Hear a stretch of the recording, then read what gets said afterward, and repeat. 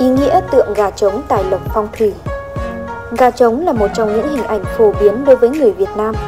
Trong phong thủy, gà trống còn có tác dụng hóa giải các thể sát trong nhà, chiêu tài lộc và hỗ trợ cho người làm ăn kinh doanh.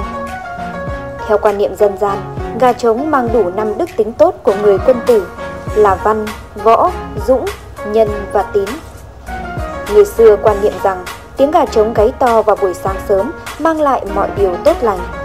Tiếng gà xua tan trong bóng tối, đuổi đi những linh hồn xấu xa, báo hiệu ánh bình minh đang đến. Tiếng gà gáy bắt đầu một ngày mới tốt đẹp. Vì thế, tượng gà phong thủy lại càng có ý nghĩa và được nhiều người lựa chọn. Hình ảnh chú gà trống đứng trên đống tiền vàng, cất vàng tiếng gáy sẽ đem lại tài lộc, vượng khí và xua đuổi khí xấu cho gia chủ. Đừng quên theo dõi Bảo Khánh để biết thêm nhiều thông tin hơn nữa về các vật phẩm phong thủy.